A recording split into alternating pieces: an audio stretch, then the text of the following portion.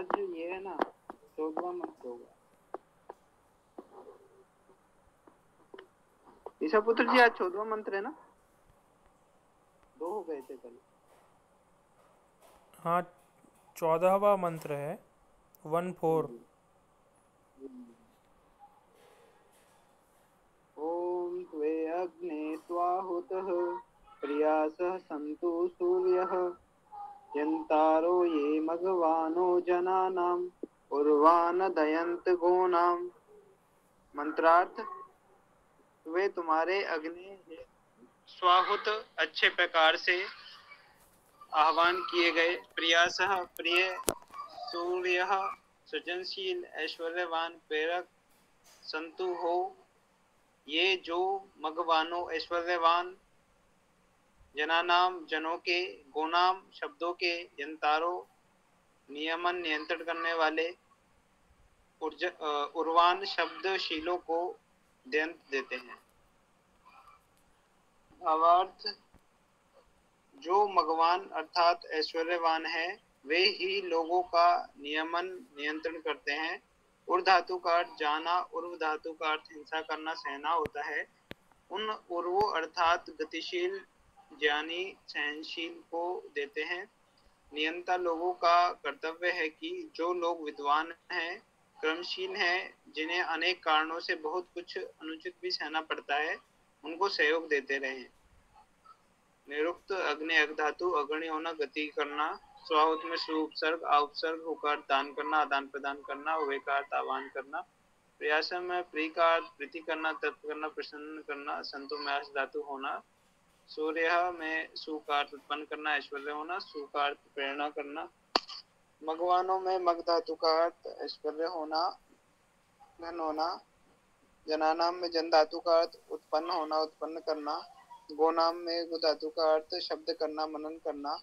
यंतारों में यम, आवरण करना, पोषण करना, नियमन करना। पूर्वान धातु शब्द करना, विश्वास करना। प्रयंत में दे पालन करना पालन करना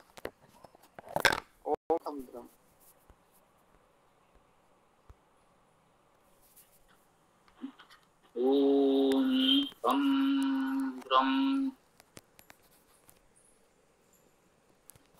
यजुर्वेद अध्याय तैतीस मंत्र चतुर्दश मंत्र प्रस्तुत कर रहे हैं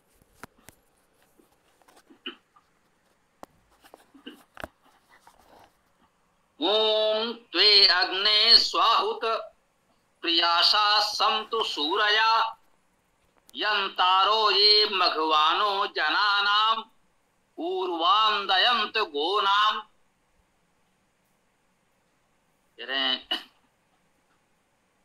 त्वे,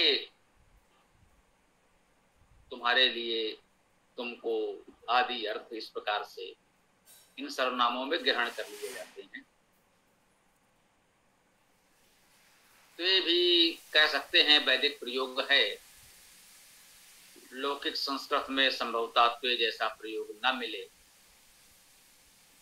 अग्नि, हे अग्नि संबोधन है। अग, अग्रणी, प्रगतिशील। स्वाहुत, सुआहुत। अच्छे प्रकार आह्वान किए गए। वैसे हम जानते हैं हु धातु दान करना, आदान प्रदान करना के अर्थ में है। वेद में सामान्यता, स्वाहुत आदि शब्द इस प्रकार के जो पद मिलते हैं, उनमें वे आह्वान करना धातु का अर्थ भी ग्रहण किया जाता है। अथवा कह सकते हैं कि हु धातु में दान करना, आदान प्रदान करना के साथ साथ आह्वान करना, बुलाना का अर्थ भी निहित माना जाता है।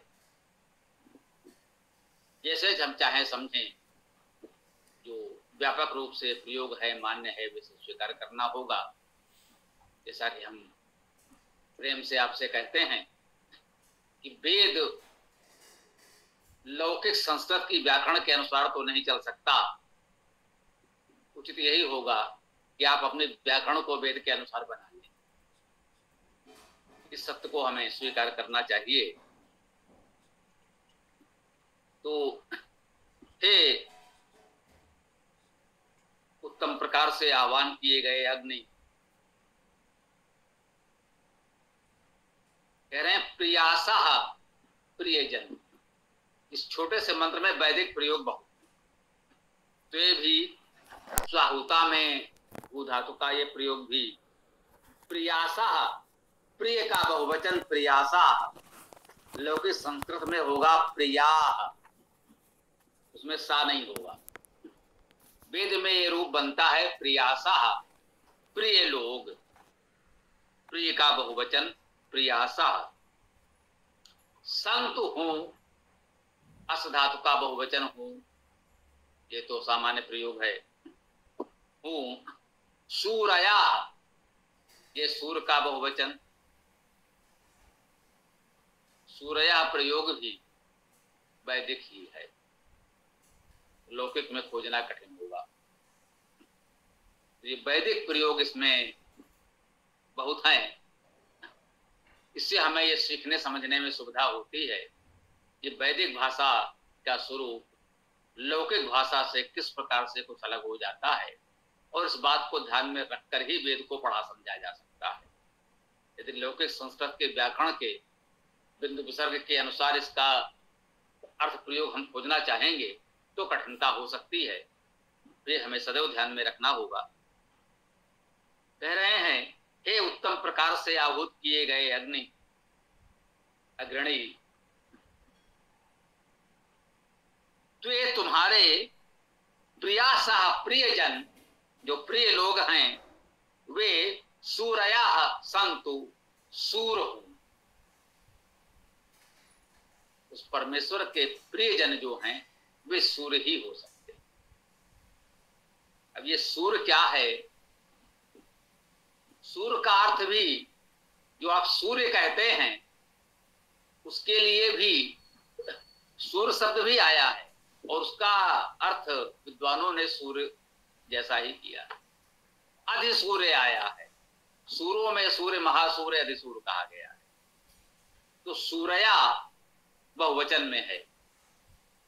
सु प्रसवे, सु ऐश्वर्य और सु प्रेरणे।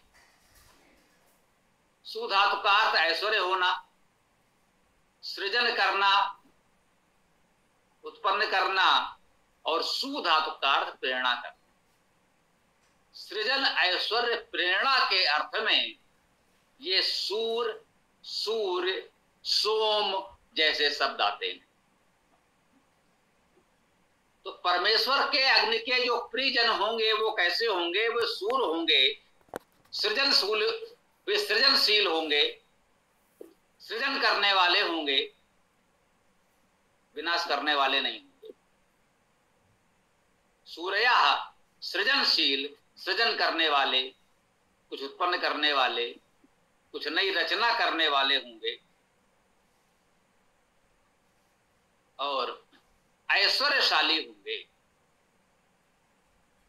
जी हाँ ये शब्द भी है।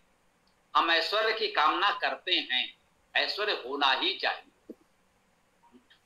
जो परमेश्वर के प्रियजन हैं, जो सज्जन हैं, उपासक हैं, जो वेद के अनुयायी हैं, वेद के स्वाध्यायी देता हैं, उन्हें ऐश्वर्यवान होना ही चाहिए। यदि नहीं हैं तो यह उन कुछ लोगों का नहीं, पूरे समाज का पतन। समाज के पतन का कारण ही यही है कि वैदिक विद्वान वेद के स्वाध्यायी तो साधनहीन है। ऐश्वर्य का उपभोग जब वेद विरोधी जन, वेद से दूर रहने वाले लोग अवैधिक लोग कर रहे होंगे, शासन सत्ता धन बल अवैधिक लोगों के हाथ में है और वैदिक लोग साधनहीन हैं। तो इसीलिए समाज का पतन हो रहा है। इसको इस रूप में बिल्कुल न लें कि नहीं, हमें तो सब कुछ त्याग कर आप परिग्रही बैरागी बन जाना है। वेद ने ये सिखाया ही नहीं। हम इंद्र की उपासना करते हैं परम ऐश्वर्यवान परमेश्वर कहते हैं। परमेश्वर का अर्थ है परम ऐश्वर्यवान हम उसके उपासक हैं तो हमें भी ऐश्वर्यवान तो होना ही चाहिए। हम सोम की उपासना करते हैं, सोम की कामना करते हैं, उसका अर्थ भी है, सृजन ऐश्वर्य प्रेरणा। हमें प्राप्त हो और हम दूसरों को देने की स्थिति में भी हो। तो जब वेद के स्वाध्यायी वैदिक विद्वान ऐसी स्थिति में होंगे, उनके पास ऐश्वर्य होगा तो समाज को उचित मार्गदर्शन प्रेरणा प्राप्त होगी। संपूर्ण समाज उन्नत करेगा, संपूर्ण समाज ऐश्वर्यशाली होगा। ये प्रेरणा, ये भाव हमें यहाँ ग्रहण करना चाहिए। अग्नि स्वाहुता, तुए प्रियासा संत सूर्या, तुम्हारे प्रियजन। ऐश्वर्यशाली हूँ, सृजनशील हूँ, प्रेरणादायी यंतारो ये भगवानो जनानाम। यंतारो ये भगवानो जनाना ये अर्थात जो। इनके लिए कहा जा रहा है? ये बहुवचन में है। तो ये एकमात्र अग्नि परमेश्वर के लिए तो नहीं कहा जा रहा। ये उसके प्रियासा प्रियजनों के लिए कहा जा रहा है। ये जो जो उस परमेश्वर के अग्नि के प्रियजन हैं वे कैसे होंगे? यम तारो, ये भी बहुवचन में है। यमन करने वाले हो, नियमन नियंत्रण करने वाले हो जनतारो वे नियंत्रण करने वाले हो, उनका नियंत्रण कोई ना करे।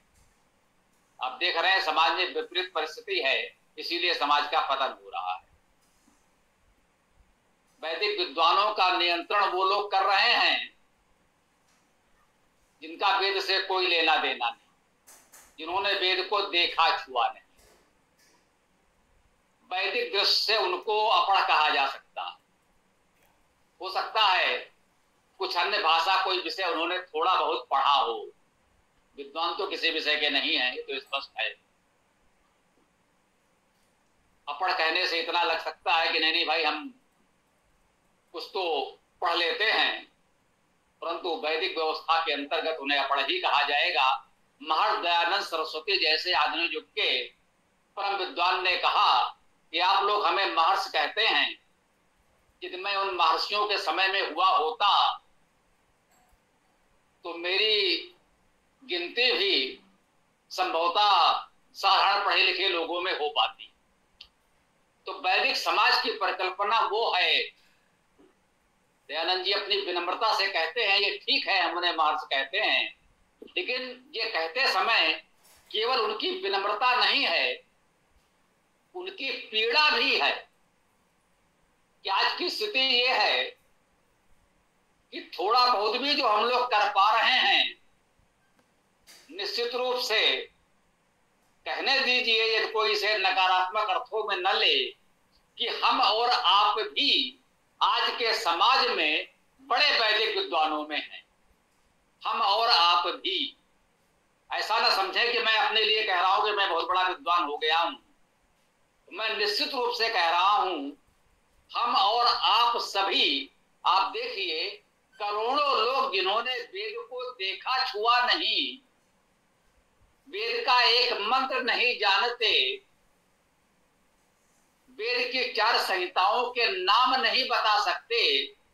वेद का पहला या अंतिम मंत्र नहीं पढ़ा उन्होंने। उनकी तुलना में हम आप बहुत बड़े विद्वान हैं, यदि ये कहा जाए तो अनुचित तो नहीं होगा ना। इतना हमें कहना चाहिए, इतनी शालीनता, विनम्रता भी नहीं होनी चाहिए कि सत्य को नकारा जा सके। यह अहंकार नहीं, यह पीड़ा है।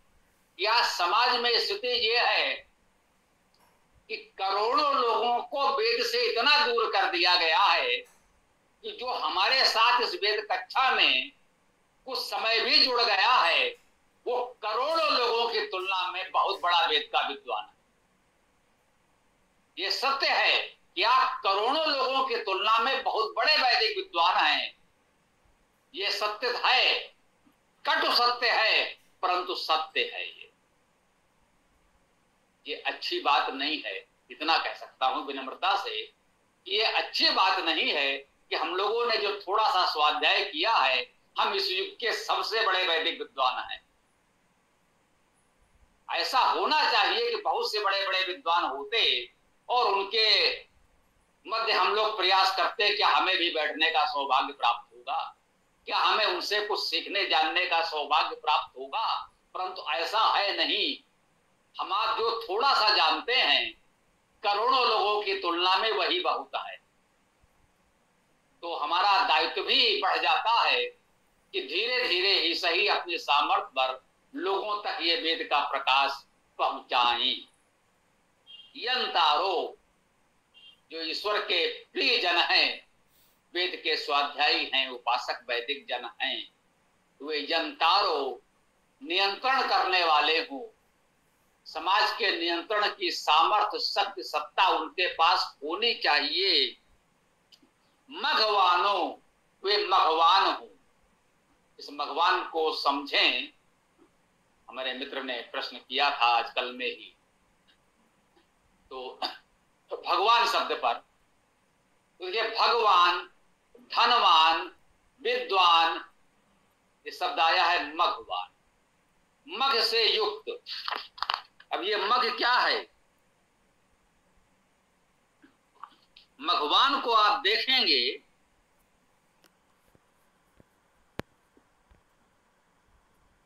मग धातु का अर्थ भी ऐश्वर्य होना, धन होना लिखा। मघवान है, ऐश्वर्यवान हूँ, धनवान हूँ। सामान्यता व्यवहार में दोनों को एक मान लिया जाता है। व्यवहारिक दृष्टि से बहुत कुछ एक है भी। यदि धन है तो ऐश्वर्य भी है, और ऐश्वर्य है तो धन भी हो जाएगा। तो दोनों एक दूसरे से इतना जुड़े हुए हैं कि सामान्यता लोक व्यवहार में, बोलचाल में हम लोग एक ही मान लेते हैं, शब्द अलग अलग धन का अर्थ है उत्पादन, जो कुछ उत्पादन हो पा रहा है कृषि उत्पाद हो या अन्य किसी प्रकार का, वो साधन सामग्री वस्तुएँ तो आपके पास पर्याप्त हैं। ये धन है आपके पास, अन्य भी धन है, भूमि भवन भी धन है, स्वर्ण रत्न आदि भी धन है, ये सब उत्पादन किया जाता है। ये सब धन आपके पास है। तो आप धनवान हैं। ऐश्वर्य का अर्थ है ईश्वर होने की स्थिति। ईसत्व ईश धातु है, इसका अर्थ है ईश्वर होना शासन करना, जिसे समय हम लोग कहते हैं। उसका शासन होता है, वो शासन व्यवस्था चलाने के सामर्थ्य रखता है। ईश्वर का अर्थ है शासक। इसी से बना ईश से ईश्वर और ईश्वर से ऐश्वर्य शब्द बना। आपके पास ऐश्वर्य है, इसका अर्थ है आपके पास शासन करने की है। तो जो हमने कहा व्यवहार रूप में जिसके पास बहुत धन है, वो कुछ लोगों पर शासन तो करता ही है।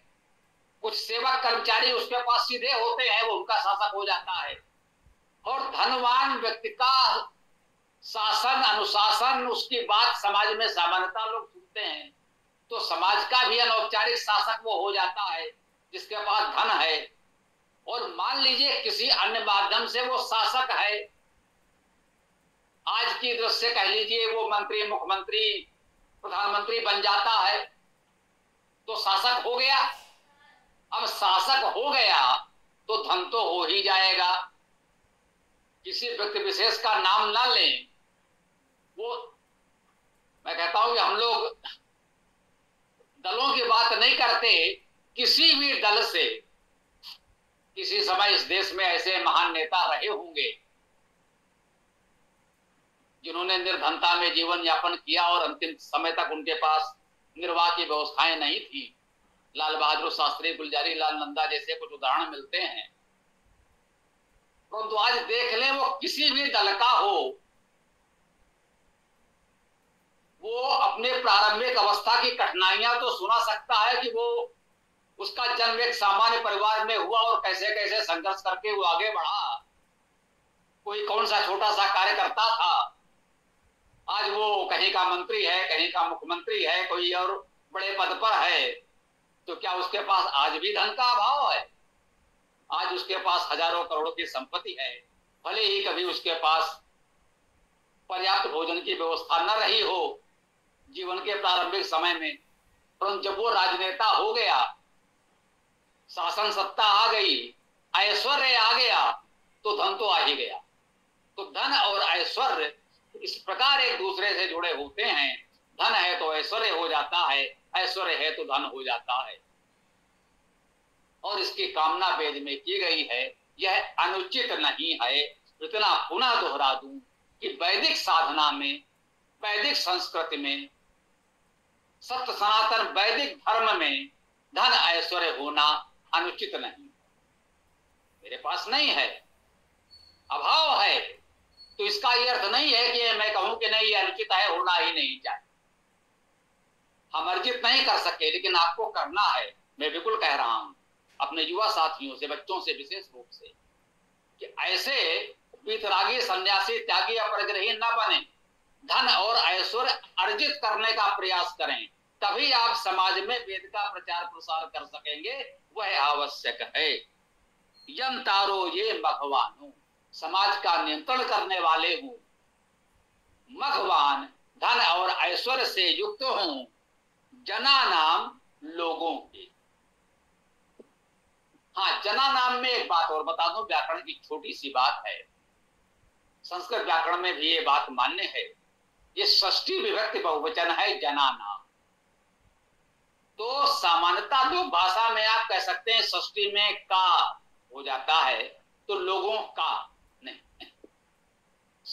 विभक्त का प्रयोग संस्कृत में में के अर्थ में भी होता है, इन लोगों में जना नाम का अर्थ हुआ जनों में। तो जो जन सामान्य है, बहुत से लोग हैं, उनके मध्य आप यंतारो नियंत्रण करने वाले हूँ मखवानो धनवान ऐश्वर्यवान हूँ पूर्वान। पूर्वान भी होना चाहिए।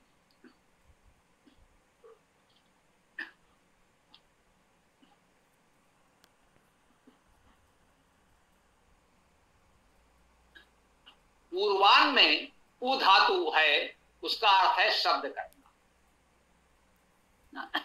वो शब्द करना, विश्वास करना। शब्द करना का अर्थ यही हो जाता है कि आप स्वाध्यायशील हो शब्द युक्त हो, विद्वान हो और लोगों को उपदेश कर सकें, पढ़ सकें और पढ़ा सकें। सामान्य आज की बोलचाल की भाषा में कहें कि आप पढ़ने, पढ़ाने में समर्थ हूँ।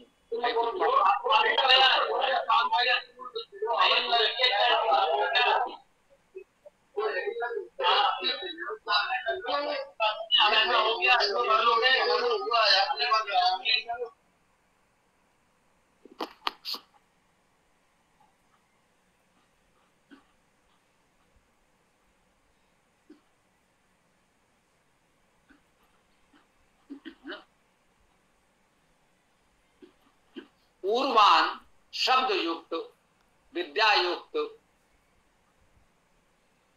वचन युक्त दयंत गो नाम। दयंत क्रिया के लिए है। गो नाम, यहाँ भी जैसे जना नाम था, उसके साथ ये आया है गो नाम। गो शब्द का अर्थ भी शब्द ही होगा। गो धातु का अर्थ शब्द करना।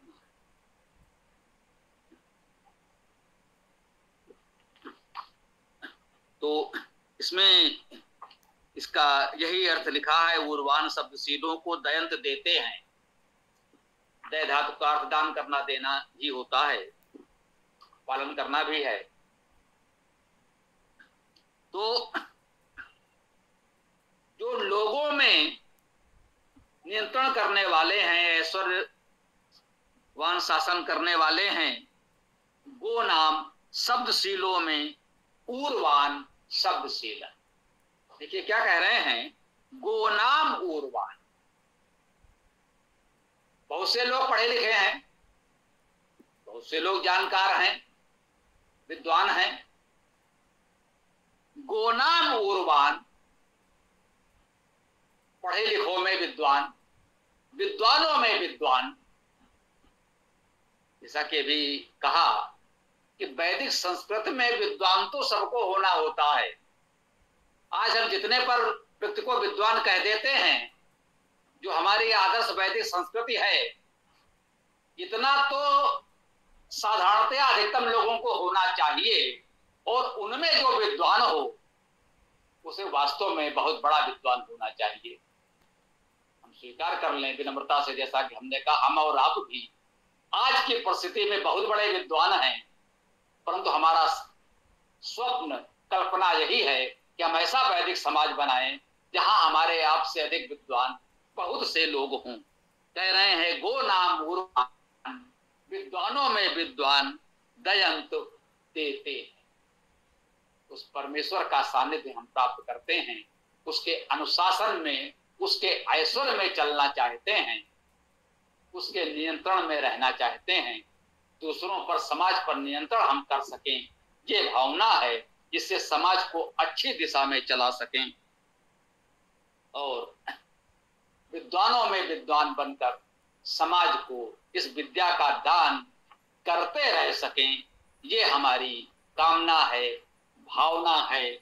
इसके साथ हम आज की इस चर्चा को विराम देते हैं। अब आप लोगों का जो भी प्रश्न हो, विचार हो, रख सकते हैं।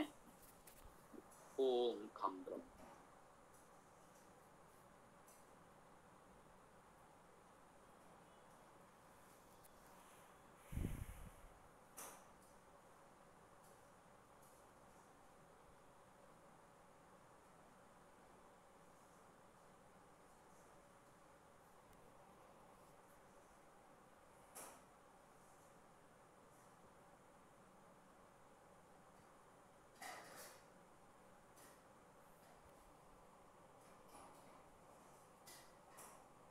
किसी का प्रश्न हो तो पूछ लीजिए, नहीं तो फिर समापन करेंगे।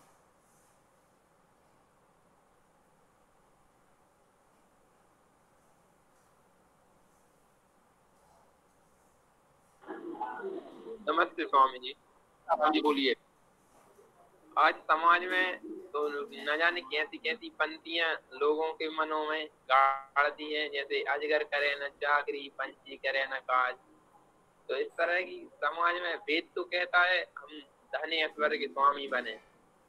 समाज में तो अनेक तरह की व्यक्ति को निठल्ला बनाने के लिए अनेक भ्रांतियाँ फैल रखी हैं। जी हाँ हमारे समाज को पतन में ढकेलने के लिए ये सब प्रयास लोगों ने किए हैं और उसी से हमें उबारना है। निश्चित रूप से ये भी कहा है, हम लोग तो इसी को मानते हैं, उनका अजगर करे ना चाकरी। अजगर क्या पड़ा रहता है और कोई उसके मुँह में अपने आप घुस जाता है? नहीं। अजगर को अपना भोजन प्राप्त करने के लिए परिश्रम करना पड़ता है।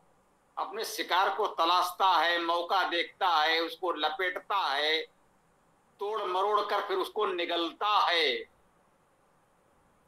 उसे भी अपना शिकार, अपना भोजन पाने के लिए बहुत योजनाबद्ध तरीके से परिश्रम करना पड़ता है।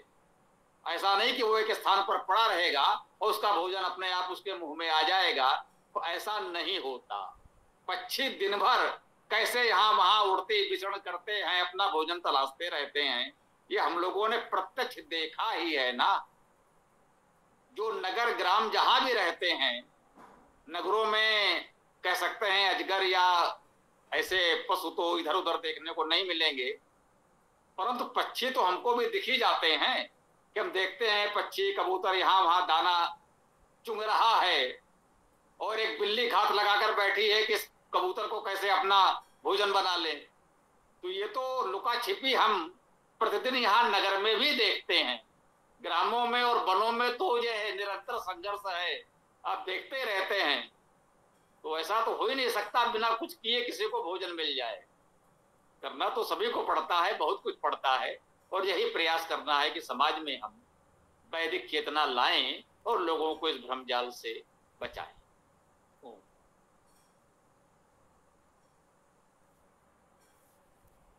स्वामी जी सादा जीवन उच्च विचार भी कहते हैं। ये भी गलत है ना स्वामी जी सादा जीवन विचार गलत नहीं है। अनावश्यक आप वैभव के दिखावे में पड़े रहें और अपना असली उद्देश्य भूल जाएँ तो ये उचित नहीं होगा। उसके लिए कहा गया है, सादा जीवन और उच्च विचार। आप सादगी से रहें, दिखावे में अपनी ऊर्जा व्यय ना करें, लेकिन धन ऐश्वर्य जुटाएँ और उसे अच्छे कार्य में लगाएँ।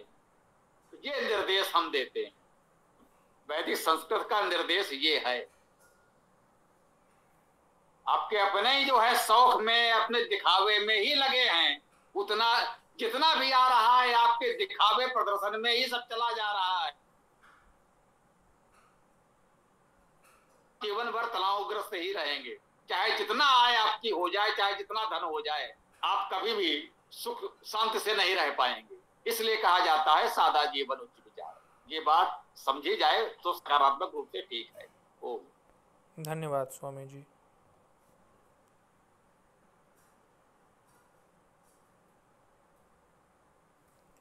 अच्छा स्वामी जी ये जो संस्कृत में आता है, लोभ पापस्य कारणम कि लोभ पाप का कारण है तो ऐसे मतलब फिर ऐश्वर्यवान फिर कैसे रहेंगे फिर?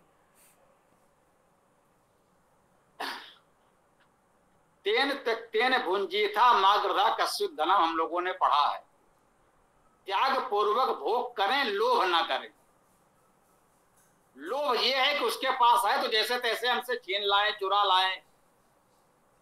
हम इसी चिंता में पड़े हैं कि उसके पास है, मेरे पास नहीं है। ये लोभ है और उचित परिश्रम से उसे हम प्राप्त करें। और जो प्राप्त हो जाए त्याग पूर्वक भोग करें। उसका उपयोग करें। विनाश न करें। दिखावे में न पड़े कि हाँ मेरे पास हो गया, तेरे पास नहीं है। तो ये दिखावे का भाव, या उसके पास है, मेरे पास नहीं है, कैसे हम उसे छीन लें? ये लोभ का भाव, ये हानिकारक है। शालीनता से, विनम्रता से, परिश्रम से आप अर्जन करें और उपयोग करें। ये अच्छी बात है। धन्यवाद, स्वामी जी। स्वामी जी, नमस्ते। ये जो अपनी पहली लाइन आई हुई है तो वह अग्नि स्वाहुत प्रयास संतु सूर्य। हे अग्नि, तुम्हें बड़ी प्रकार से बुलाने वाले प्रिय जन सूरवीर पराक्रमी हो, ऐसा इसका आशय है क्या? भैया, हमने तो धातु के अनुसार अर्थ कर दिया है, और बाकी जिसको जो अर्थ करना हो, कल्पना करता रहे।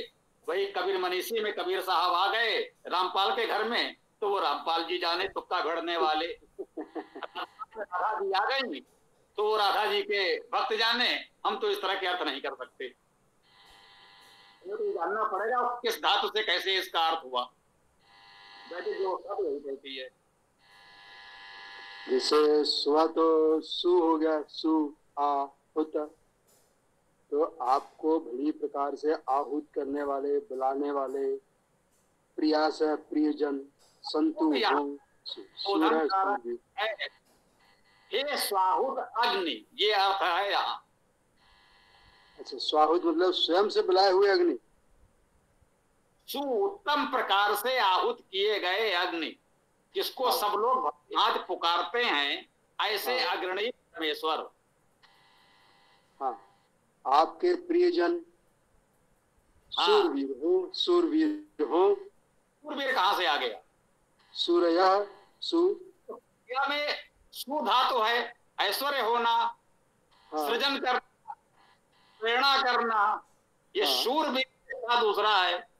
वो ताला नहीं, हो नहीं नहीं सूर्य का मतलब योद्धा में मत लीजिए। सूर्य का मतलब पराक्रमी हो उद्यमी हो उस तरह से। आप ले लीजिए कोई बात नहीं। हमारे धातु में ये अर्थ नहीं है।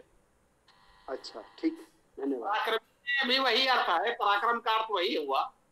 हाँ। योद्धा वाला वही पराक्रम में है। तो योद्धा का मतलब पुरुषार्थ जो पुरुषार्थी है योद्धा तो एक तरह से बोलते हैं लड़ैया बोलते हैं वो वो नहीं। मतलब जो व्यक्ति पुरुषार्थी है पराक्रम और जो है दृढ़ता पूर्व अपने किसी उद्देश्य में जुटा रहता है इसलिए उसको पराक्रमी कह रहे हैं। ठीक है कह सकते हैं। मैंने आपसे कहा ना कृपया धातुज अर्थ वाला वेद भाष देखें, कहीं का हो, किसी का हो। न हो तो जो हम लोग पढ़ रहे हैं, वो तो आपके पास होना चाहिए। इतना निवेदन तो हमने किया था, यह संभव हो। कोई कठिनाई है तो बड़ी बात नहीं। ये संभव हो तो ये पुस्तक अगर होगी तो बहुत कुछ समस्याएँ हल करेगी। नहीं तो हो रहा है अच्छा हो रहा है, कुछ तो हो ही रहा है। हम बिल्कुल कहते हैं, कुछ ना होने से कुछ होना अच्छा है।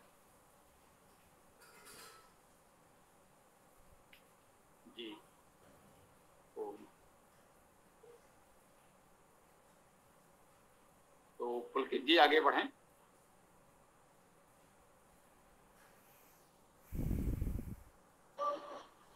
ठीक है तो मैं समापन करता हूँ। ओम यो असो आदित्य पुरुषः सो असो अहम, ओम खम ब्रह्म ओम खम ब्रह्म सभी को नमस्ते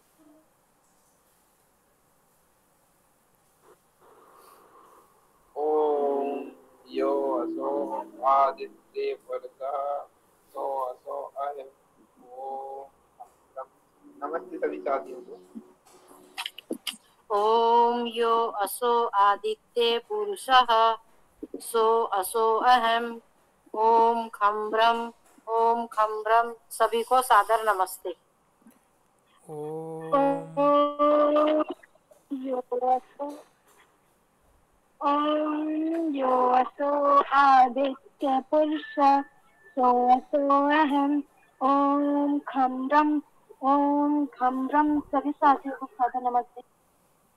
ओम यो असो आदित्ये पुरुषः, सो असो अहम, ओम खम ब्रह्म ओम खम ब्रह्म सबको सादर नमस्ते।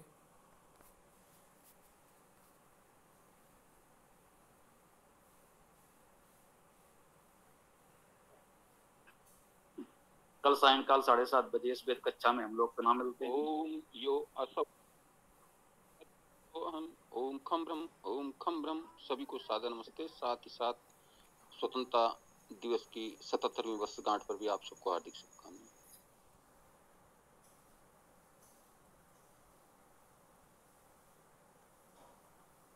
सभी को बहुत बहुत शुभकामनाएँ। ओम स्वस्ति ओम नमस्ते।